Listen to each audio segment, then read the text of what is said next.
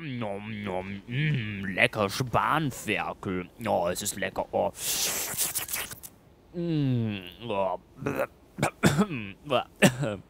Ja, habe ich mich gerade an diesem Brokkoli da verschluckt. Und damit herzlich willkommen zurück zu einer weiteren Folge von Drakensang 2 am Fluss der Zeit oder an der Festtagstafel der Zeit in diesem Fall. Ich wünsche euch einen guten Morgen. Nee, jetzt bin ich ein bisschen durcheinander gekommen. Wir stehen hier in der Halle vor dem Gemach des Kommandanten Blumfold. Apropos große Halle. Wir haben in der letzten Folge den Kampf in der großen Halle bezwungen. Da unten sieht man noch die letzte ausgelegte Bärenfalle. Und hier liegen die ganzen fahnenflüchtigen Zöllner. Hätten wir die mal lieber bei Taschmann schon verprügelt, dann hätten wir diesen Kampf uns wahrscheinlich etwas erleichtern können. Oder wir wären mit Kuan da lang gegangen, unten. Da müssen wir später auch nochmal vorbeischauen, ob wir da jetzt lang gehen können. Oder, aber wahrscheinlich wären wir dann wären wir mit Kuano lang gegangen. Wären hier rausgekommen und dann stand ich da auch in dem Raum. Wisst ihr was, bevor wir zum Kommandanten gehen? Zu El Kommandante. Bevor wir mit dem quatschen, gehen wir noch einmal ganz kurz zurück. Oh, ich weiß, ich bin so gemein und es ist so ein Cliffhanger eigentlich. Ich will auch mit dem reden. Wir wollen ja nur reden, haben wir ja schon festgestellt, als wir mit den Leibwachen gequatscht haben.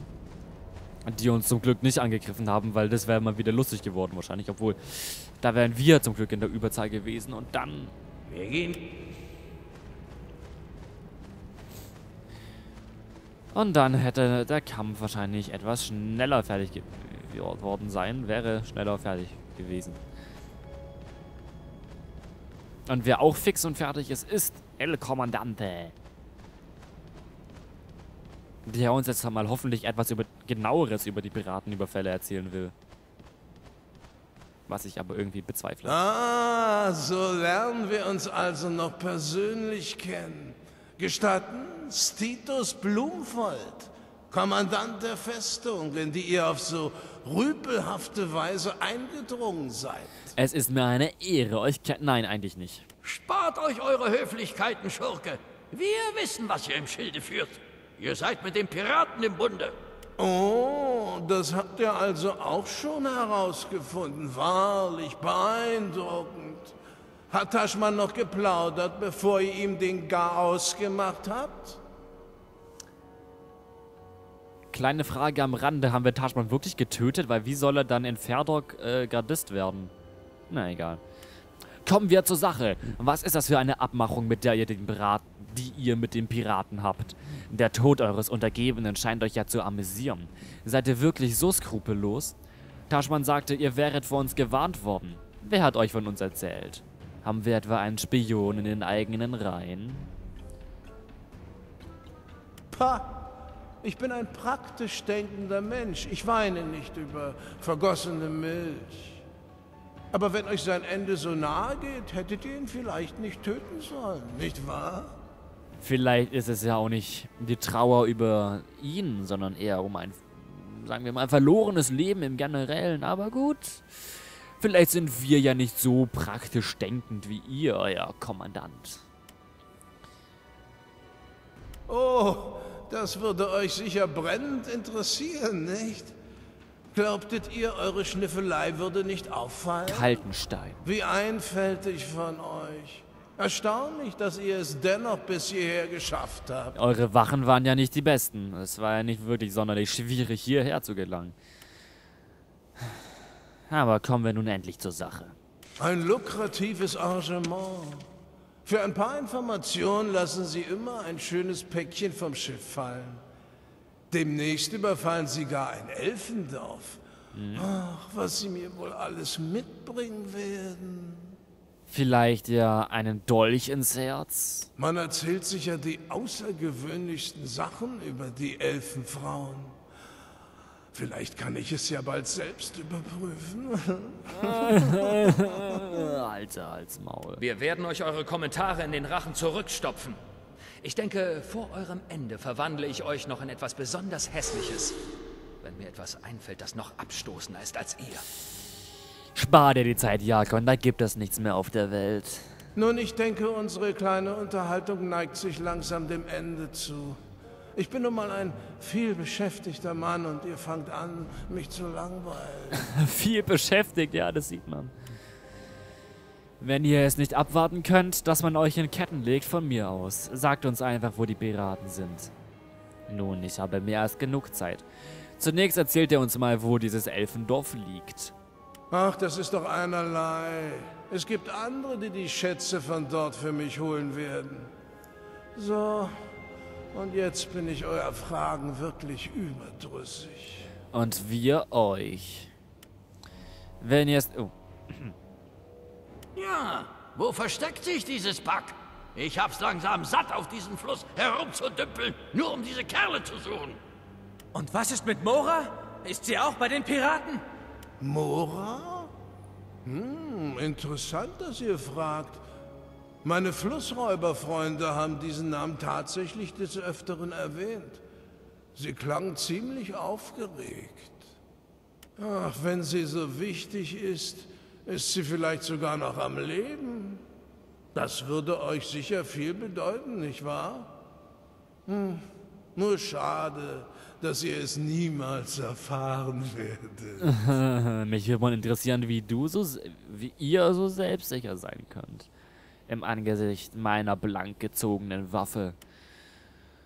Ihr seid besiegt nah. Ergebt euch und wir werden Gnade walten lassen. Gnade. Guter Witz. Spuckt besser nicht so große Törn, Törne, Töne, oder ihr werdet es gleich bitter bereuen. Ganz recht. Noch ein überheblicher Satz und ich hol dem Kerl jeden Zahn einzeln aus seiner Visage. ihr scheint eure Lage nicht ganz zu verstehen. Genau jetzt kümmert sich Kaltensteins Mann um eure Freunde am Schiff. Und für euch habe ich noch eine ganz besondere Überraschung. Kaltensteins Mann? Sein Lebensgefährte oder wie? Nee, äh, ist das zufällig der, der, dieser dubiose Händler, den wir am Hafen gesehen haben, der uns nichts verkaufen wollte? Nun werdet ihr mit meinem Schoßtier Bekanntschaft machen. Pah, mit dem kleinen Hündchen werden wir schon fertig. Och, doch nicht dieses Hündchen. Oh, Komm,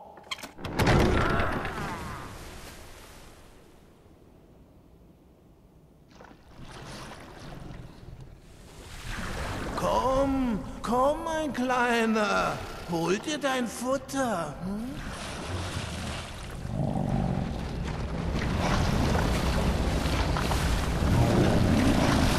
Der Wächter von Moria. Wer hätte geglaubt, dass sich der Wahnsinn in dieser Festung doch steigern ließe? Krakenmolch? Oh, ein Lustkrakenmolch. Krakenmolch Center. Ach du Heilige.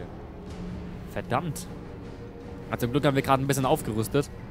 Krakenmolch Tentakel. Was ist mit dem Typen los? Oh. Ich wollte eigentlich. Hier, L.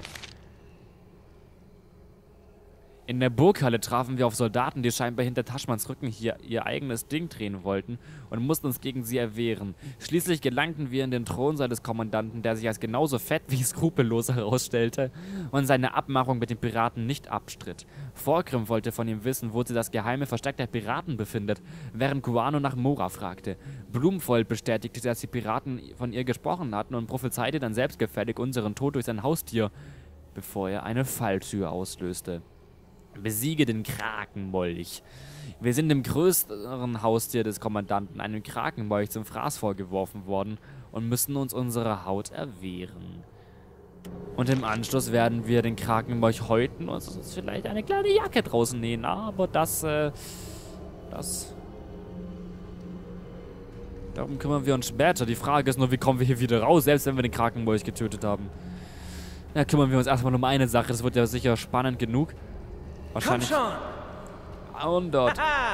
200. Wir gehen wahrscheinlich erstmal alle gemeinsam auf die Tentakel. Während du mal hier den hoch ranholst. Wie? Und Jakon anfängt zu zaubern.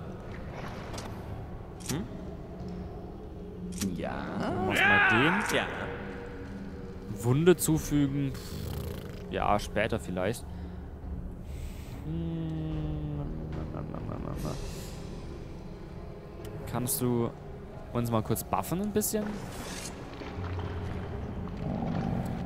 Äh. Ja? Ach verdammt, ich habe zwei gedrückt statt drei. Nicht genügend Platz zum Kämpfen? Was? Könnt ihr euch ein bisschen abseits stellen? Und bisschen zaubern? Wie? Das wäre wunderbar. Na? Eieieiei. Vielleicht sollten wir direkt auf den Krakenmolch direkt drauf gehen und nicht auf, erst auf die Tentakel. Bei! Ah, versuchen wir mal. Sternenstaub. Sehr gut. Haben wir uns ein bisschen geholfen hier. Komm, komm! Und jetzt eine Wunde zufügen.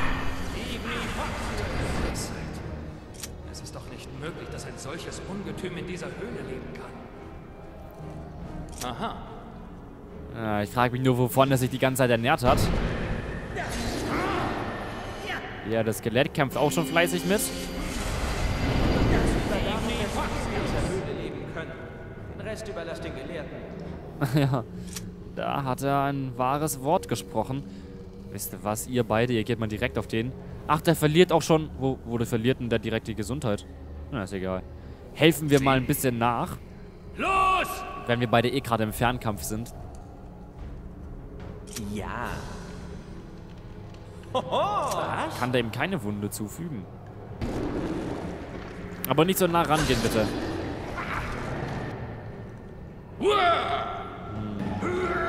Ach nee, Vorgrim, nein. Greif den weiter an. Ich wollte nur kurz wissen, wie viel Le Alter! Alter! Zum Glück habe ich meine Schulhefte nicht dabei. Die werden jetzt vollgeschrieben. Krakenmolchtinte.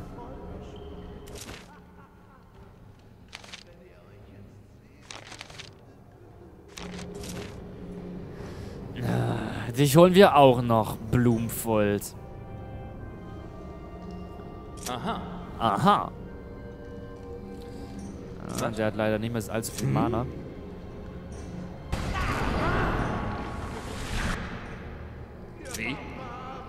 Was machst du denn? Ach, da... Warum taucht... Hä?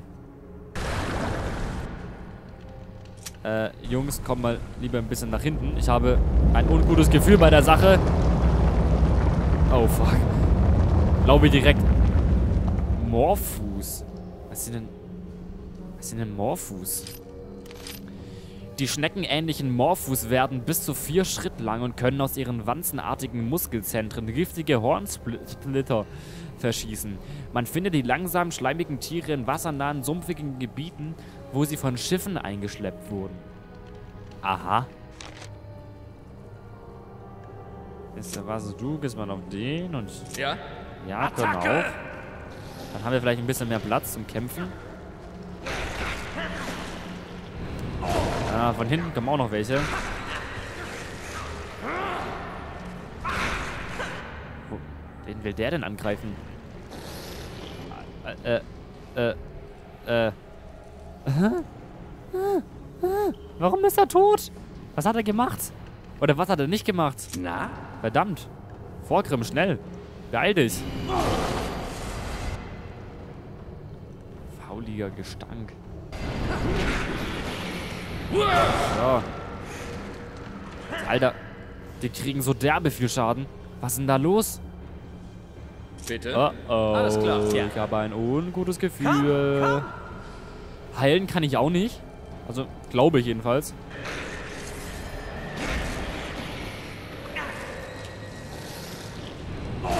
Jedenfalls nicht so wirklich.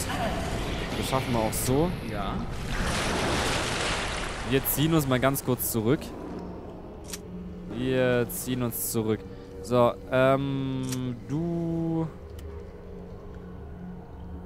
heilst Jakon. Kuano heilt dich. Ja? Jakon kann der kann der eigentlich äh, kann nicht Kampf der Talente Wunden wunderbar hast du ja hast du wunderbar perfekt dann heilst du einfach mal Kuano dann machen wir so ein bisschen Gang Healing misslungen, aber die Wunde ist jedenfalls schon mal weg. Das ist gut. Ja. Es ist Kuano misslungen, oder was? Hat er das Leben schon verloren? Alter. Ja. Ach, das ist der leichte Wundbrand. Ach so. Äh, Vorgrim. Kommt doch mal alle hier bisschen zur Seite. Balsam Salabunde haben wir, haben wir, haben wir Gegengiftzauber? Nein, haben wir nicht. Clarum Purum wäre das. Haben wir gegen Gift Gulmonte? Ja. Kannst du... Kannst du den mal benutzen? Gulmonte. Wen habe ich denn jetzt gegeben? Du. Leichter Wundbrand? Gulmonte, warum kannst du den... Warum kannst du den nicht benutzen? Heilkunde Gift. Du bist so blöd zum Trinken, ja, alles klar. Bitte? Kann irgendjemand Heilkunde Ja. Gift? Ja. Nein. Dann muss er wohl damit leben. Also, Jungs, der Kampf gegen den Tentakel, der ging ja einigermaßen. Nur die Morphus, die waren halt echt krass. Halt, stopp, stopp, stopp, stopp, stopp. Halt, stopp! Ja, ihr Ja? bleibt mal lieber wieder ein bisschen im Hintergrund. Während Kuano ihm eine versucht, eine Wunde Komm zuzufügen schon, und vor? Grimm derbe draufhaut.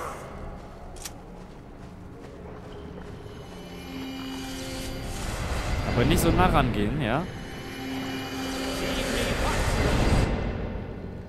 So, und Wie? gleich nochmal. Ach, die kommen gar nicht bis an den ran, oder was? Ach so. Ja. Nicht genügend Platz zum Kämpfen. Ja. Das Wasser, oder wie? Ja, dann greift, dann greift er den Tentakel an. Ja. Habt ihr wenigstens etwas zu tun? Ich hoffe, das bringt überhaupt, wenn wir hier auf den Kopf drauf zaubern. Anscheinend nicht, okay. Das heißt, wir müssen uns um die Tentakel kümmern. Hätte ich das mal vorher gewusst, hätte ich nicht so viel Mana verschwendet. Kuano hat nicht genügend Platz zum Kämpfen. Natürlich hast du genügend Platz zum Kämpfen. Hier. Kämpf doch mal.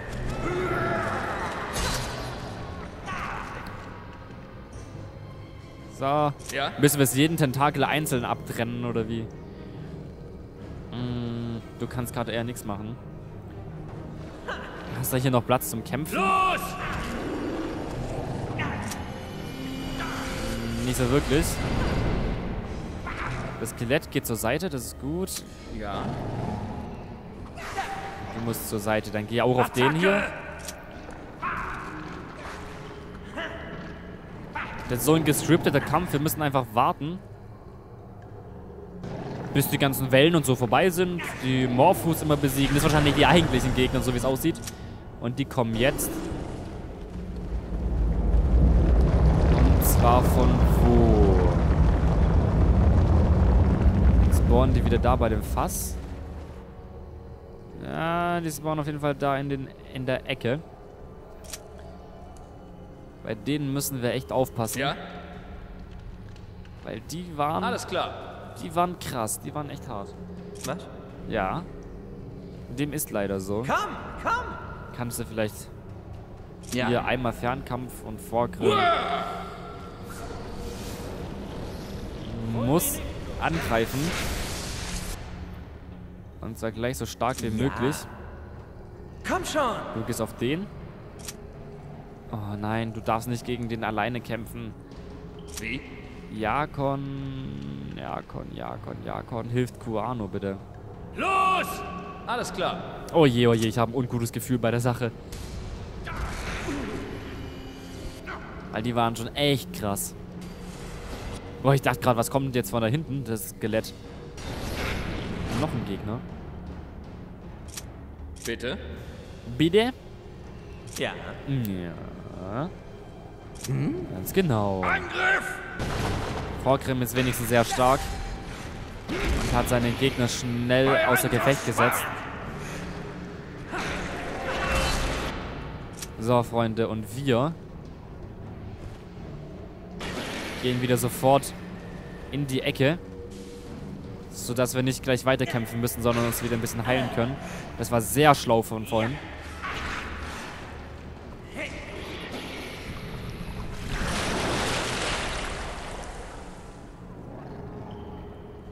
Sehr gut, sehr gut, sehr gut. Ihr regeneriert ein kleines bisschen auch Mana und alles. Und ich stelle vielleicht die Kamera ein bisschen ein, dass man eventuell ein Thumbnail machen kann. So. Hier. Dass die Hat dann nicht stört. Eine sehr spannende Szene für eine Thumbnail. Oh, verdammt. Dann warten wir noch kurz, bis das abgeklungen ist. Sind ja nur ein paar Sekunden. Und dann geht's gleich weiter. Was? Der taucht immer nach einer gewissen Zeit ab, oder wie? Ach, nö. Das ist ja blöd. Dann weiß ich wenigstens... Aha. Aha. Mach ich. Dass ich gleich angreifen muss. In der nächsten Runde.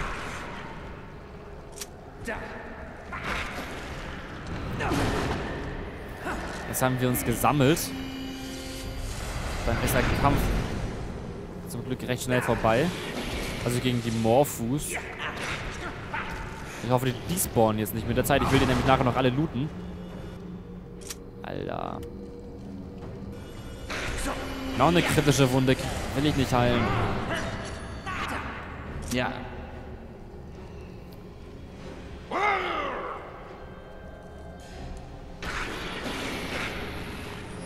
Sehr gut. So.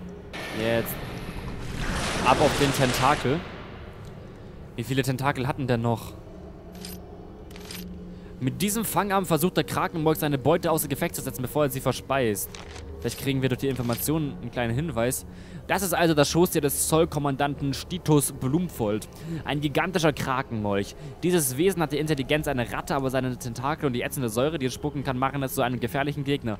Legenden berichten von ganzen Schiffsmannschaften, die ein wütender Krakenmolch das Leben gekostet hat. Ich kann auch nicht einfach abhauen, oder? Nee, da ist ja alles zu.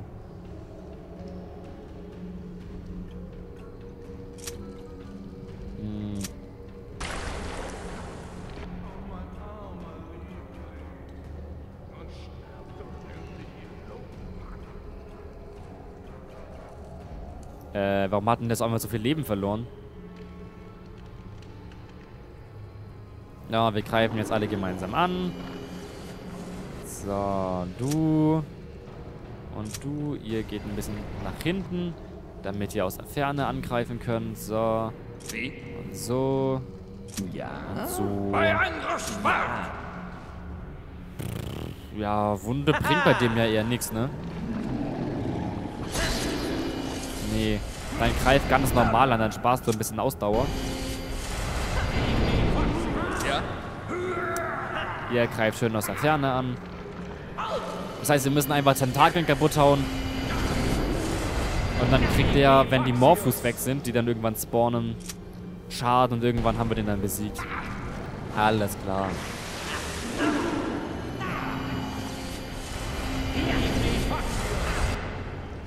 Und Ja?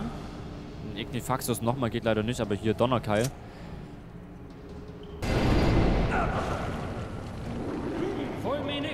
Ja. Ja. Ah, endlich.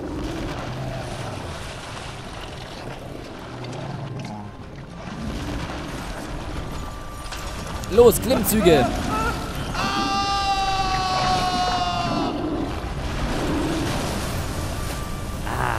Sehr gut, kleines Haustier. Hast du fein gemacht. Tja, da hat sich dieser Gigrim selbst an seinen Liebling verfüttert. Ich hätte ihm ja gerne persönlich den Hals umgedreht. Aber so soll's mir auch recht sein. Feck sei Dank, das war knapp.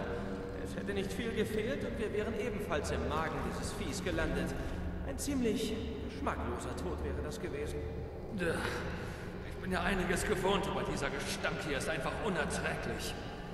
Wenn niemand etwas dagegen hat, würde ich jetzt gerne wieder an die frische Luft. Wartet, vielleicht finden wir hier noch irgendwas, was interessant sein könnte. Verzeiht, Herr Magier, aber für ein Diener des Fuchsgottes wäre es unverzeihlich, diese Gelegenheit nicht zu nutzen. Ihr glaubt also, es eurem Gott zu schulden, dass er diesen übelriechenden Plunder hier einsteckt? Wartet. Das hier scheint ein Bruchstück von irgendetwas zu sein. Heben wir es besser auf. Kuano will wenigstens noch irgendwelche wertvollen Sachen mitnehmen und der nimmt einfach irgendwelches Treibgut mit. Ja, was soll's, egal. Freunde, wir haben den Kragenmolch besiegt, ein richtig harter Kampf. Wobei, wie gesagt, das härteste davon waren eigentlich diese elenden Morphus, die derbe reingehaut haben. Ich weiß gar nicht warum. Mit ihrem Gift oder so, was sie da versprüht haben. Auf jeden Fall, irgendwie haben wir es noch geschafft, den Tintenfisch hier kaputt zu hauen. Jetzt kriegt jeder Schüler in Deutschland ein Jahr lang gratis Patronen. Und ich verabschiede mich für diese Folge. In der nächsten kehren wir dann, oh, wir kehren aber sehr schnell dann zurück zu uns, unserem Schiff, zu Talaria. Weil das äh, scheint ja gerade laut dem Blumenfold unter Beschuss zu stehen. Weil der Mann von Kaltenstein es gerade angreift. Und unseren Freunden, dem äh, wie heißt der, Kap dem Kapitän Dielprag und Stummer Hummel und den ganzen anderen Leuten, wollen wir natürlich auch helfen. Und da müssen wir so schnell wie möglich zurückkehren. Ich verabschiede mich für diese Folge, wünsche euch eine gute Nacht und esst was Schönes. Bis dann!